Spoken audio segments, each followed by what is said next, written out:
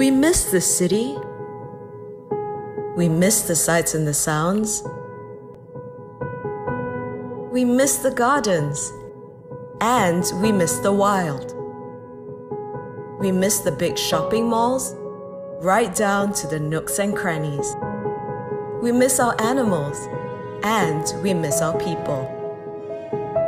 Most of all, we miss your smiles and the smiles you bring to our faces.